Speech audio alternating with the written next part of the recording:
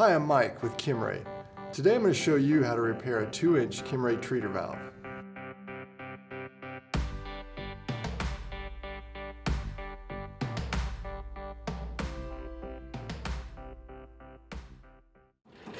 Start by securing the valve in a vise. Unscrew the nipple with drip pot attached and remove the bleed valve from the drip pot. If you have an original hub design, you will need to remove the trunnion plug. Loosen the stuffing box nut. Loosen the set screw almost completely and use a punch to remove the shaft.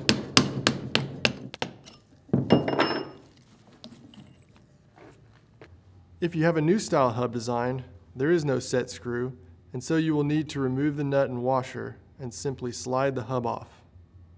Remove the stuffing box assembly from the shaft. Remove the follower, Teflon packing, and packing ring from the stuffing box assembly. Keep the follower as it is not included in the repair kit. Remove the gasket from where the trunnion plug was. If the shaft is bent, it may be necessary to cut the shaft off, then tap the trunnion shaft out through the stuffing box. Remove the four bolts from the bonnet and remove the bonnet. If the bonnet is stuck, pry it gently with a flathead screwdriver. Remove the snap rings.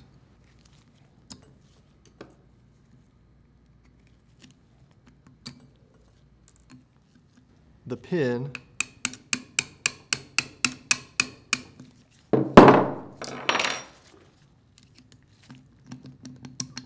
and the trunnion hub.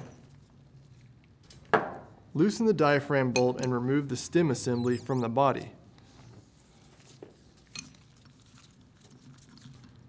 Pull the pin from the stem assembly. Pull the stem through the diaphragm bolt. Remove the diaphragm. Remove the retainer from the diaphragm. Remove the bolts connecting the upper housing to the lower body. If the upper housing is stuck, tap it with a hammer and pry it apart with a flathead screwdriver. Flip it over and loosen the diaphragm assembly with a wrench.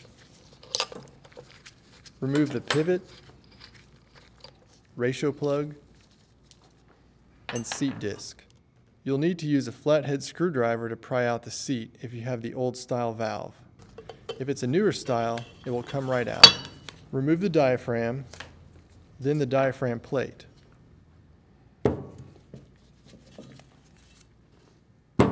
Inspect the removable seat. It's ideal if you don't have to remove this. However, if you spot damage or a potential leak path, removal is necessary. Unscrew the removable seat with a Kimray seat wrench. This can be very difficult. If you have trouble getting the seat out, you may need to take it by your local Kimray repair shop for additional help. Lastly, remove the gasket from the removable seat. With the valve disassembled, now we can inspect the parts for damage.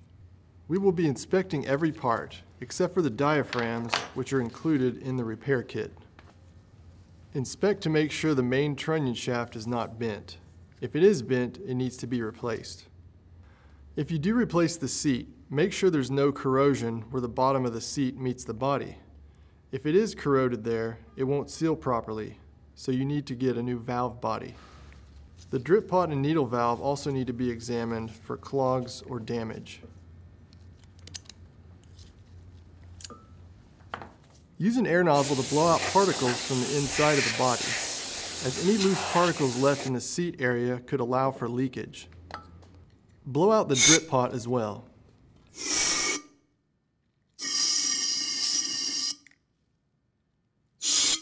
Finally, flip the upper housing over and verify that the communication hole is clear and free of debris.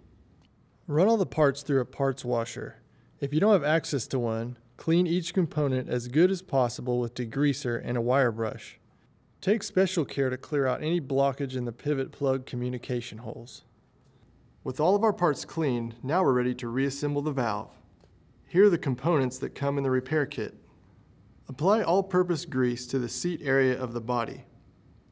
Flip the removable seat upside down and apply grease. Then attach the gasket. Apply grease to the gasket as well. Install the removable seat into the body using a seat wrench. And be careful not to over tighten the seat as this can tear the gasket. Secure the diaphragm plate in the vise upside down and place the diaphragm on top.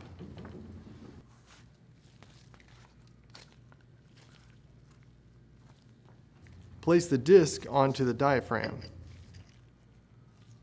Then place the rubber seat into the disc. Use a flathead screwdriver to work the rubber seat into place.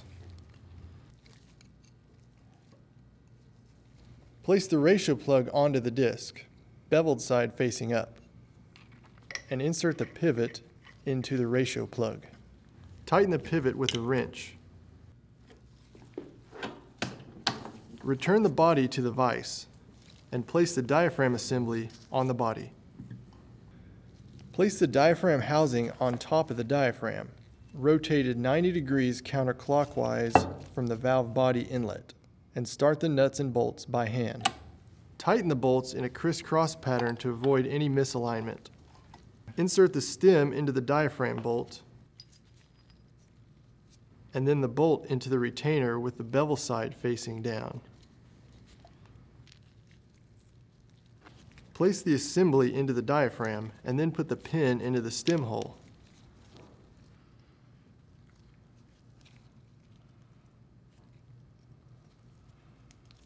Hold the stem pin in place and install the stem diaphragm assembly into the diaphragm plate.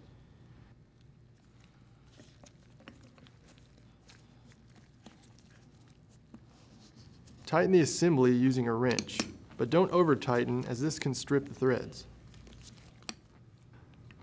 We will be installing the new hub design to replace the old version. Make sure the flat side of the link hub is at the bottom.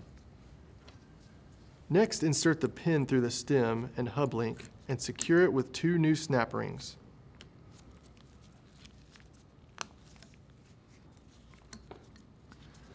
Lift the link hub slightly and place the bonnet over the stem assembly and onto the stem diaphragm assembly. Align the bonnet with the direction of the valve inlet. Tighten the four bolts in a crisscross pattern to avoid misalignment. Grease the shaft and insert the thicker end into the bonnet opposite the side of the equalizing pressure port. Apply grease to both sides of the new gasket and install it on the plug, making sure the gasket rests against the shoulder of the plug then tighten the plug with a wrench. Slide the washer onto the stem. Grease both sides of the gasket. And place it on the stuffing box. Hand tighten the stuffing box into the bonnet. Now install the packing ring with Teflon packing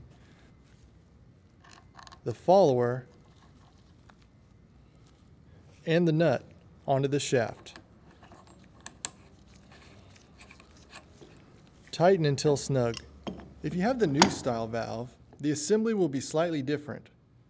After installing the shaft, slide the bushing into the trunnion plug, add the O-ring to the outside, then grease both the bushing and O-ring. With this design there are no gaskets, so if you're converting from old style to new style, make sure both gaskets have been removed from the bonnet. Thread the trunnion plug into the bonnet and tighten with a wrench. Next, put the small O-ring inside the stuffing box and insert the bushing. Install the O-ring around the outside. Then grease both O-rings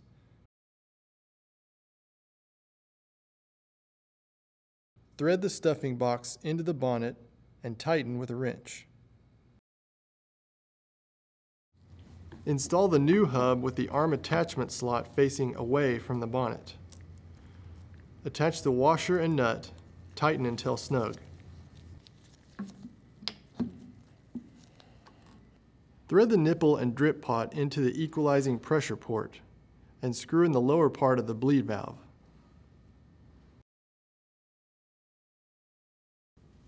Complete the assembly by attaching the lever bar and the weight.